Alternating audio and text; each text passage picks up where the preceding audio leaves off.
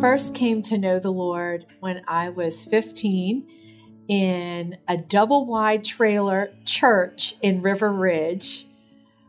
And the message was on the names of Jesus. And I had never heard all of the names of the Lord the Lion of Judah, the Rose of Sharon, the way, the truth, the life, the door, the vine, all of these aspects of the Lord. And that night, on a Wednesday night in November, I walked up to the altar and gave my life to the Lord. And it's just never been the same.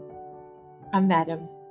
I can look back now over 30 years and just say, Lord, you have led me. He loved me in my youth. He spoke to me in my 20s. He led me in my 30s. He's my rock in my 40s.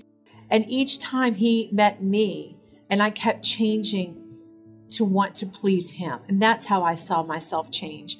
It was now no longer my purpose, but it was, what's your purpose, Lord?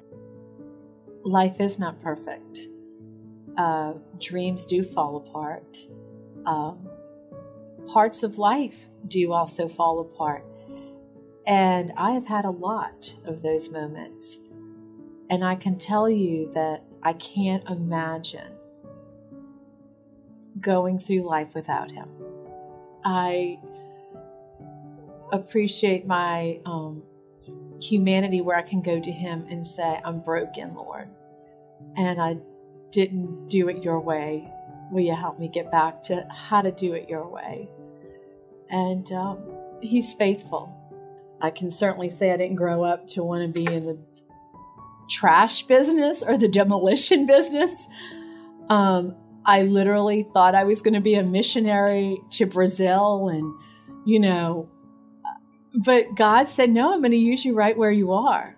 There's a peace that you're not going to find in a car or in a home or in a circle of friends or in social clubs. It's just a peace within yourself that the Lord is always with you, that He's an intimate God, He's a different God, He's different. He's changed my life in ways that I can't even count.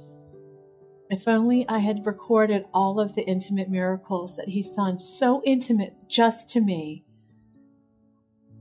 it'd be a really great read for the last 48 years. I'm Simone Bruni, and He changed my life.